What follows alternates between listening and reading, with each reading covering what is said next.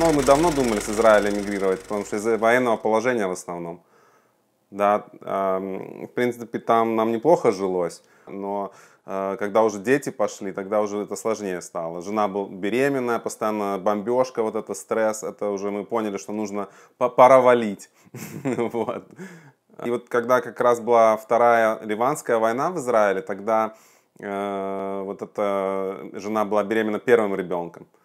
И вот это стресс, это все как бы сказалось, и после этого мы уже решили так. Ну, как мы до этого задумывались, но это уже стало такой последней каплей, да.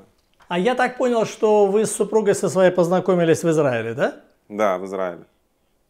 Ага. То есть вы как бы разными путями приехали в Израиль, вы со своими родителями, да. она со своими родителями, а там уже познакомились. Да, мы приехали в 15 лет. Мне было 15, ей было 14.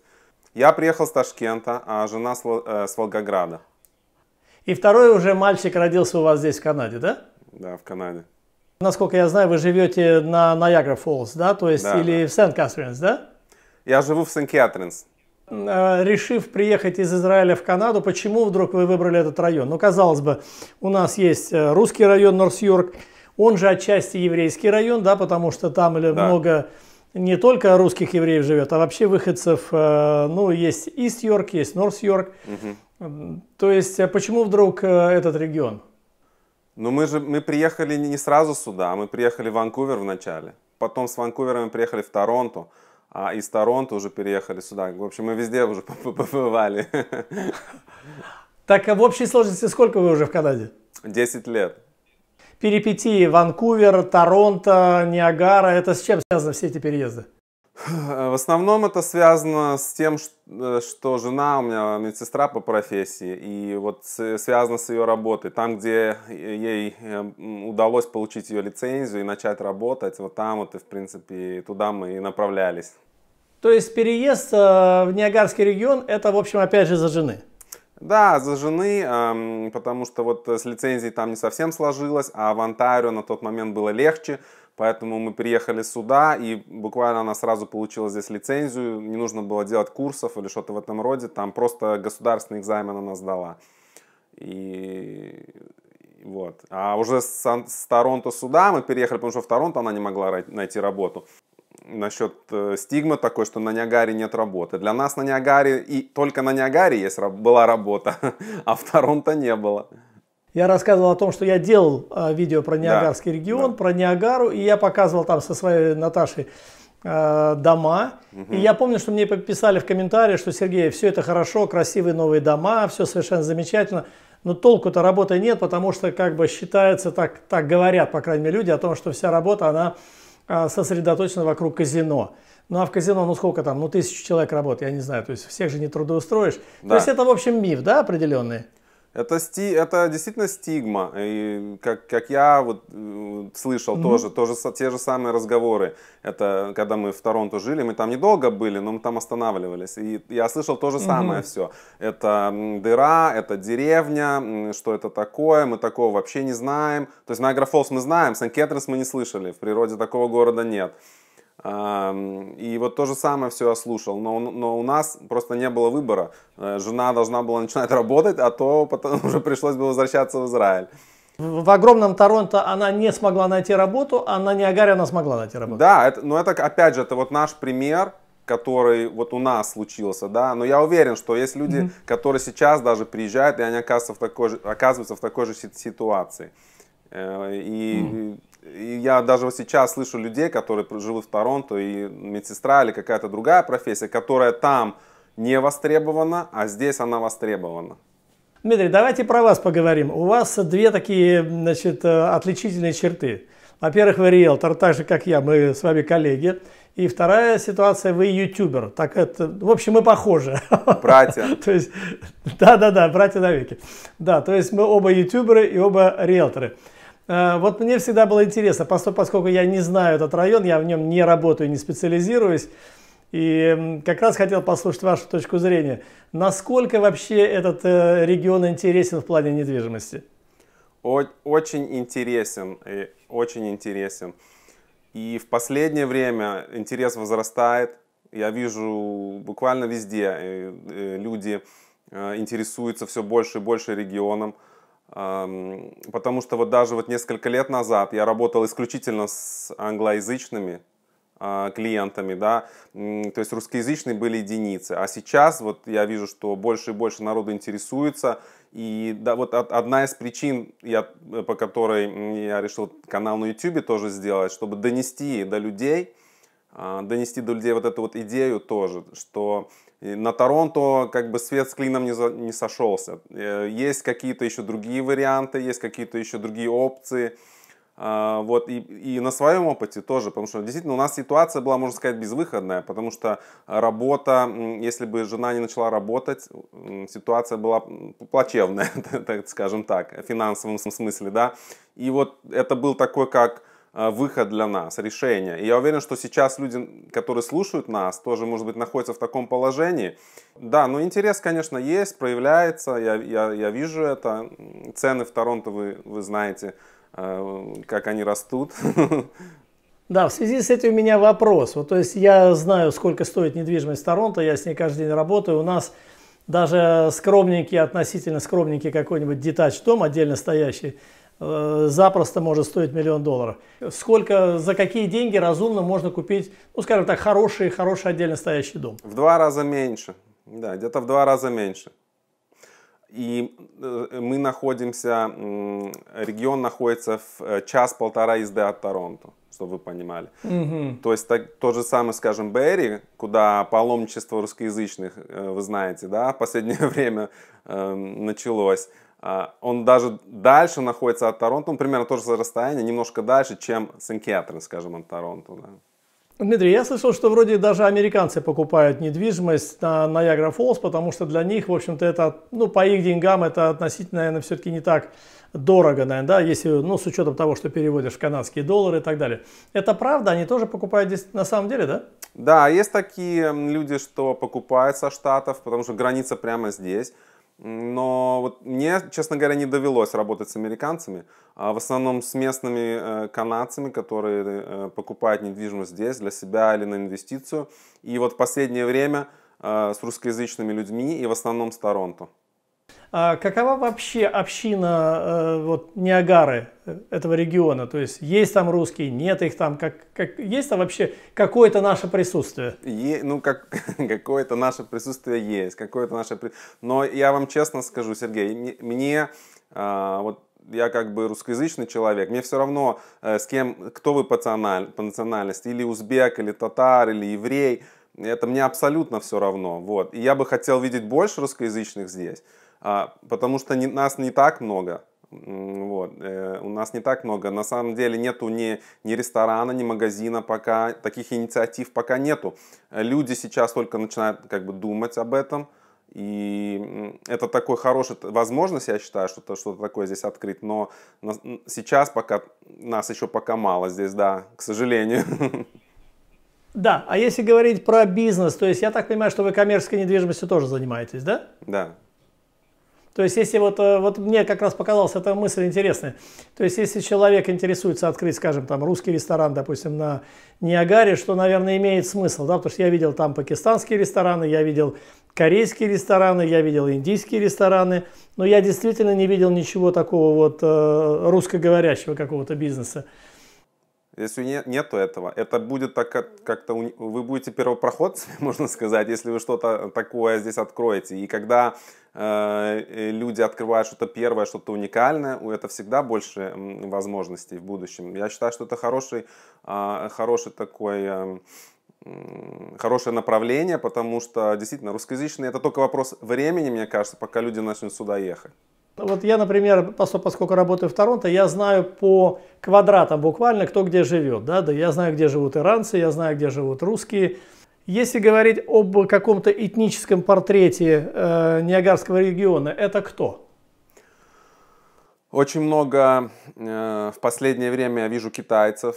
Вот тот район, э, тот район, где я, например, живу в Сен-Кэтринс, новые постройки, у меня в районе много китайцев. Э, индусов, но когда я говорю китайцы, индусы, да, например, вот индусы, такие все высокообразованные люди, а, много врачей, много таких профессионалов, да, своего дела, то, что я вижу. И русскоязычные тоже. Вот на моей улице, например, есть несколько русскоязычных семей тоже э, покупают дома, э, приезжают с Торонто в основном люди, да, переезжают в Миссисага, Торонто, GTA. Мы живем в Канаде, и никто не против ни китайцев, ни индусов, но хочется поселиться в каком-то районе, где, допустим, есть какое-то примерно равное распределение национальности, да, то есть вот перемешано так. И мы с Натальей, кстати, очень любим ездить на Ниагару, вот нам безумно нравится и сама Ниагара, и больше всего нравится, наверное, Ниагара on the Lake, угу. чудесный городочек да. такой курортный, просто очень живописный. Мне показалось, что если микс есть, то он такой какой-то очень разнообразный. То есть нету преобладания какой-то одной нации, которой вот э, там все китайцы, допустим, и так далее. Не, да? не, не, абсолютно нет. Действительно, вы, вы правы насчет этого. Всего по чуть-чуть, всего понемножку. А расскажите мне, какой криминальный фон в этом районе? Ну, то, что я слышу иногда в новостях, что-то происходит, э, да, то есть там какие-то инциденты отдельно взятые, но, но я не вижу вот на своем опыте, слава богу, как-то Бог миловал, не ощущаю никакой такой криминальной обстановки, что-то э, из ряда вон выходящего я, я не ощущаю. Обычно маленькие, когда городочки такие, там, как правило, народ такой немножко периферийный и увлекается иногда наркотиками, допустим. У вас такое что-то есть наподобие? Опять же, я лично не сталкивался, как я слышал, как я слышу, как там как мы общаемся между собой тут с, с ребятами, с друзьями. И, да, есть такие, опять же, отдельно взятые инциденты, когда там кто-то передозировка была или что-то в этом роде, или кого-то арестовали. Конечно, есть, но не без этого, но я не вижу какого-то наплыва или каких-то таких, э, что это на постоянной основе что-то происходит такое.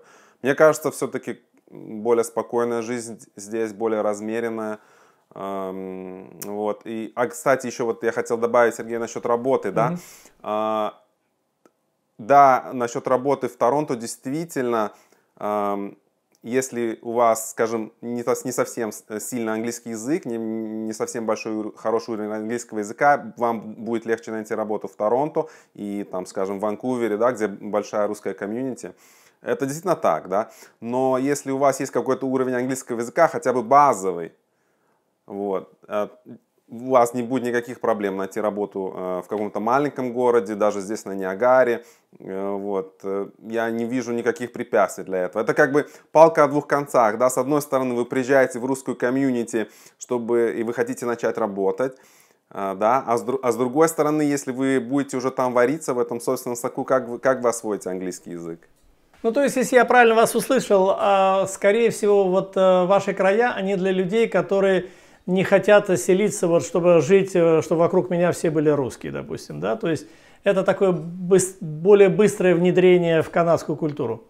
Мне кажется, это более быстрое внедрение. И мне кажется, что действительно легче даже найти работу, особенно в каких-то отдельных специальностях будет здесь, э, с каким-то базовым э, знанием английского языка, чем в Торонто. Потому что ну, в Торонто это же многомиллионный город. Да? На одно место претендует, скажем, 100-200 человек, а здесь там на одно место 10 человек. То есть разница Дмитрий, а никогда не смотрели уровень зарплат? Я просто не знаю этой э, статистики, вот, допустим, по отношению, соотношению, скажем, э, Ниагарского региона и, скажем, GTA, Great Toronto Area. Есть зарплаты, которые, как вот, например, медсестры, то есть они везде одинаковые. Uh-huh. Uh-huh. Есть, есть разница в зарплатах. Я именно в цифрах не, не могу озвучить, да, но я знаю, что, конечно, есть. И даже вот когда мы э, жили в Торонто, э, была разница, но она несущественная. То есть, если вы работаете, скажем, я помню, я когда работал в Торонто, продавал телефоны, я там получал что-то на 2-3 доллара больше, чем, чем бы я получал здесь. Вот. Э, она, она не такая существенная. То есть, э, а аренд, например, он довольно существенный разница в, в аренде жилья. Да, вот это мне тоже интересно. Э, я, например, знаю, что, скажем, квартиру в Торонто, это вот сейчас по нынешним временам, это надо вот две с половиной тысячи долларов выложить, если ты хочешь э, да. поселиться во что-то приличное. У вас э, примерно какой рейтинг аренды? То есть вот, ну, более-менее средний, скажем, two-bedroom apartment, средненькая квартирка, ну, приличная квартира, это сколько? Ну вот опять же, опять же в два раза меньше. Это два раза меньше. А, вот так вот, да? да. То есть это 1200-1300 долларов где-то, да? Да, и это будет хорошая, хорошая двухспальная, довольно просторная квартира. А, Дмитрий, еще разочек. Значит, вы занимаетесь residential, да, то есть жилищной э, недвижимостью, жилой недвижимостью, плюс вы занимаетесь э, коммерческой недвижимостью и арендой тоже, да?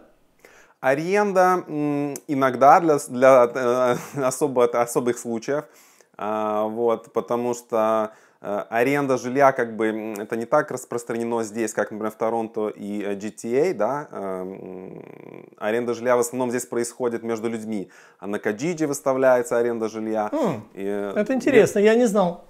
Да, Здесь оно не так распространено, не распространено есть, отдельные случаи, конечно, но агенты в основном не занимаются этим. Иногда я могу это сделать, если русскоязычные люди приезжают и они хотят снять дом, а, да, я могу помочь в этом, но если это, скажем, квартира, или, или там бейсмент какой-то, то в основном люди идут или на Каджиджи, или снимают квартиру в комплексе, да, обращаются уже в саму компанию. Да-да-да, в корпорацию. Угу.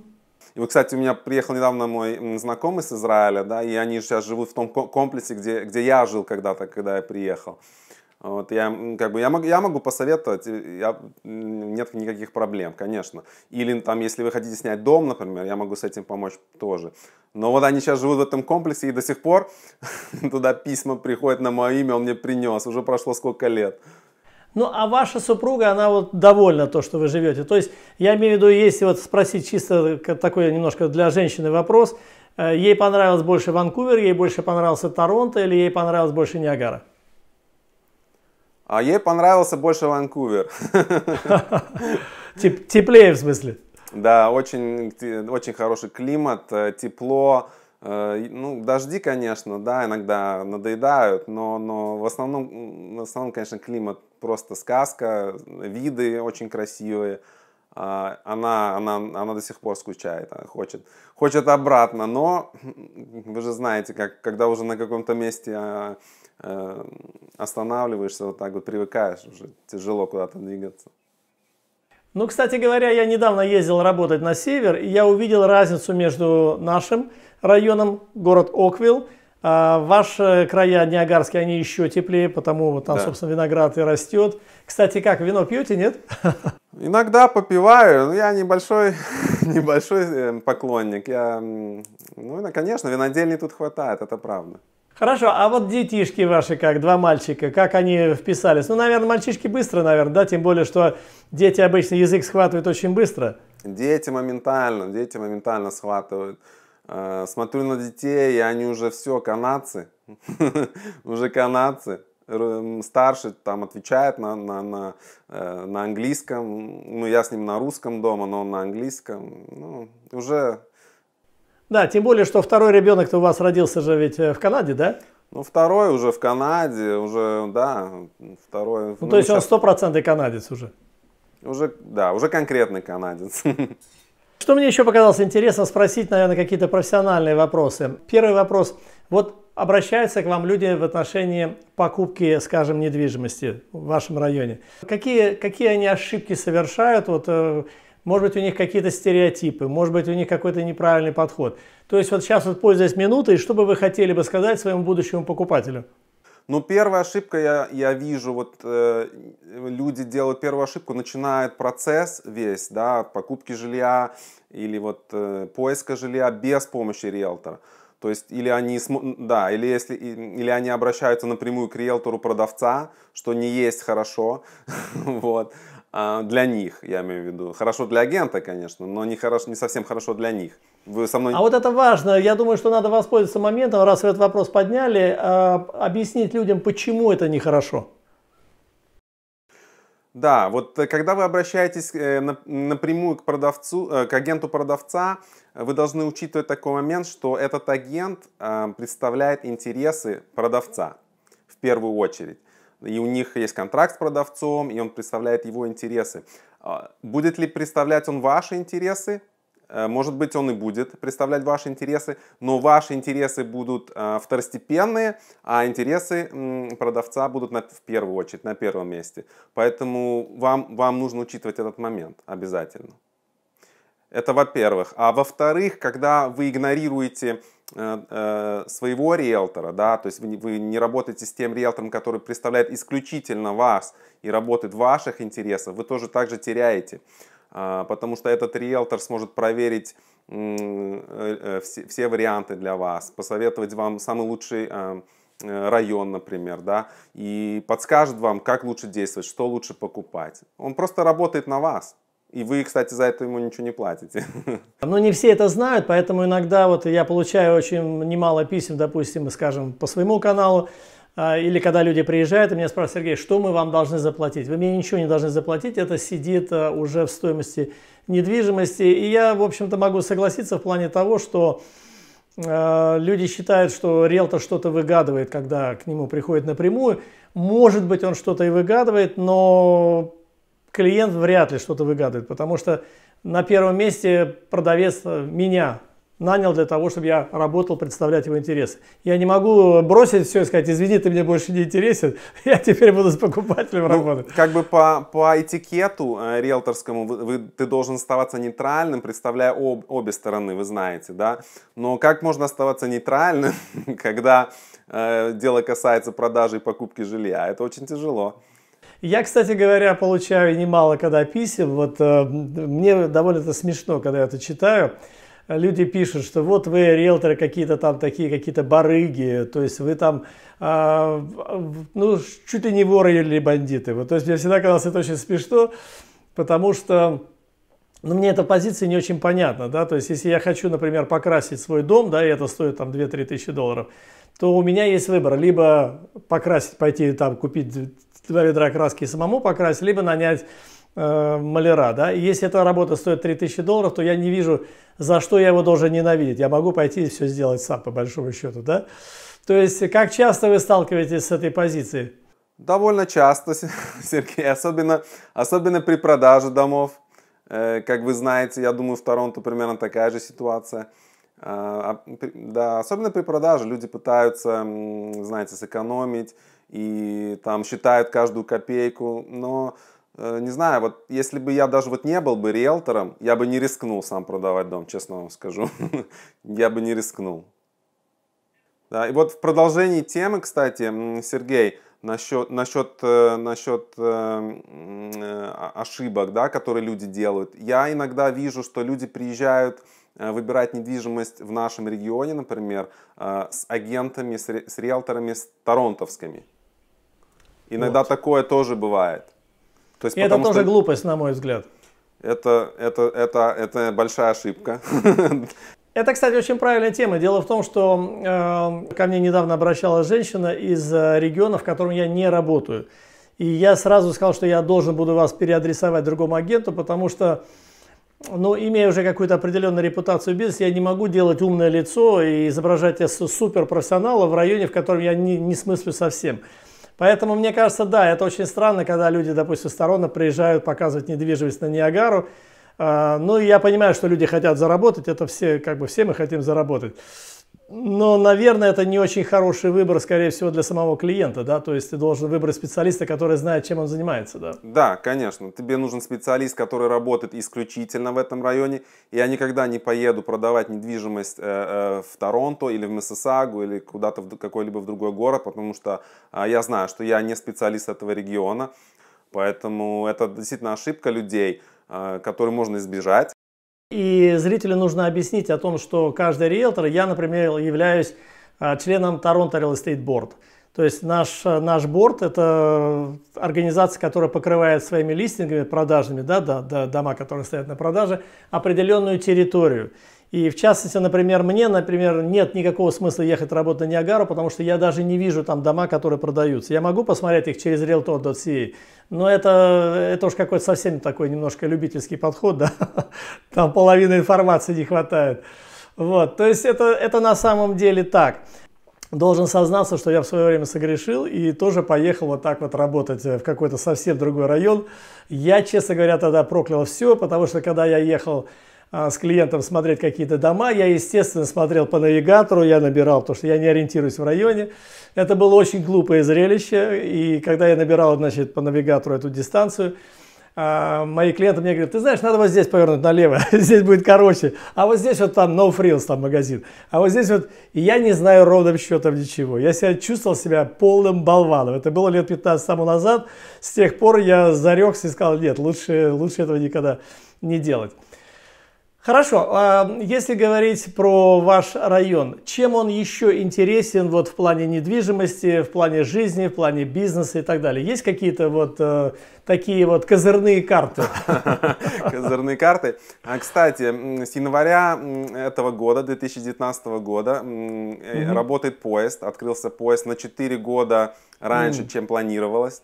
Это Go, да? Go Train с Niagara Falls в Торонто. А, вот. Э, конечно же, это пока не такой постоянный график, что он ходит там каждые два часа, но только два раза в день пока, но это какое-то начало, вот, которое дает какую-то опцию людям, да, скажем, которые работают где-то рядом с Торонто, GTA, добраться без трафика, без трафика э, в эти места. Вот. Очень интересный вопрос. Так вот, э, сели вы в Ниагаре, в Go, э, в электричку, по-русски говоря, сколько это по времени доехать до центра Торонто? А, где-то 2-2,5 часа. Это приличный, э, приличный, конечно, отрезок времени, но за это время вы можете там поработать, сделать какие-то свои дела, э, а вместо того, чтобы стоять в пробке и смотреть в небо, да.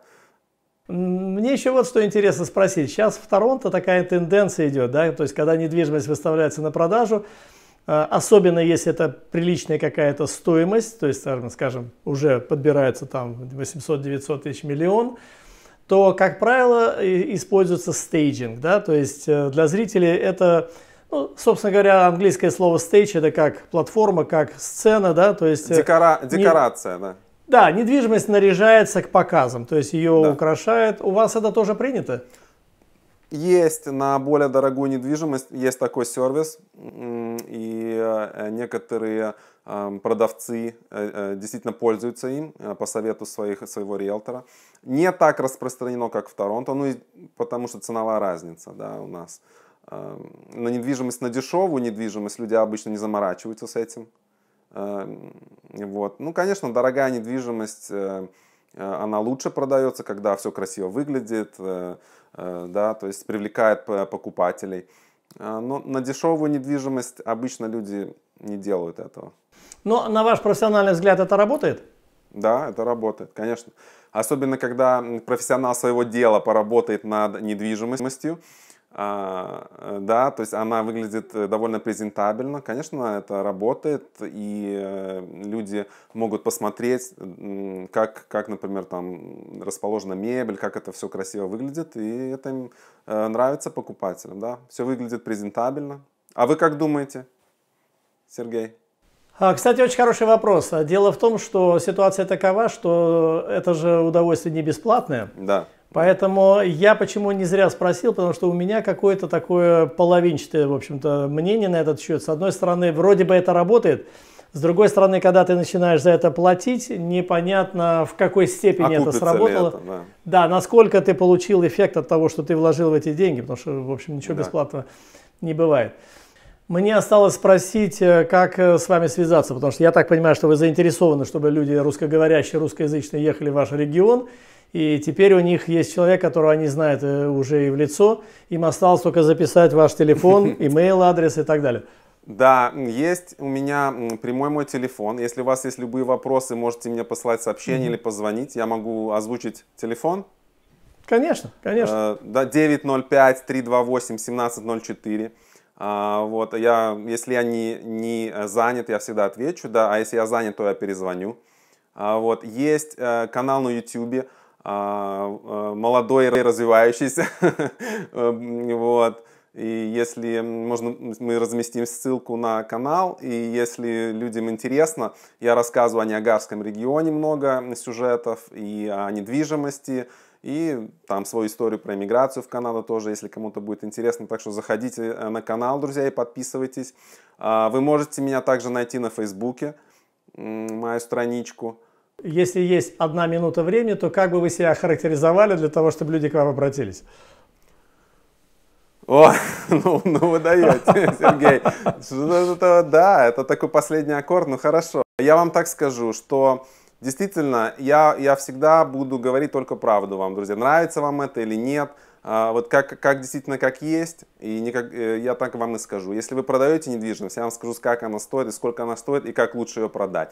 Если вы покупаете, и этот район нехороший, например, или я знаю что-то про недвижимость, которая вам нравится, но я знаю, что она будет не лучшая для вас, я вам тоже это скажу. В принципе, мне кажется, это самое важное в риэлторе, быть честным и быть всегда готовым помочь людям. Я, я думаю, это про меня.